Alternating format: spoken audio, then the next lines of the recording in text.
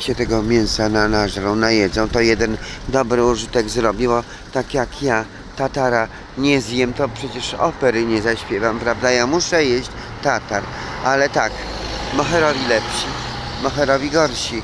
No, jak się jeden, co któryś nie nażre tego mięsa, no to się nie może wyeksploatować jakoś tak normalnie. Wrzeszczą te grube rury, baby. W XVIII wieku były oszustki, makryny mieczysławskie. Teraz są też te pary oszustystyczne, proszę Państwa. Ale te baby z grubej rury i te chamiuki tak wrzeszczą. Tu w Warszawie znowu 500, 507. Proszę Państwa, mostek, tego mostku nie było, Saska Kępa. No cóż, idzie dziad i się gapi. No i nie może wzroku oderwać.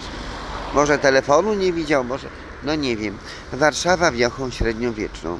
Warszawa wiochą zacofaną, proszę Państwa.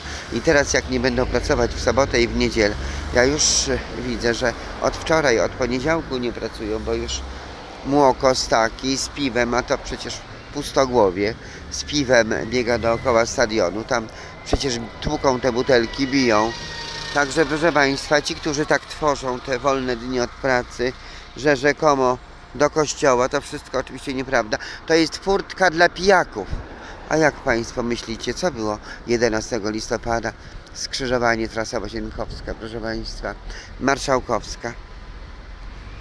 Kto to, jak nie pijaki z y, cegłówkami, z kamieniami, z wrókiem na policję? No to, to, to, to, to, to co, co to z tego będzie? Co to z tego będzie? Pod przykrywkiem ksiądz się modli, lud się podli.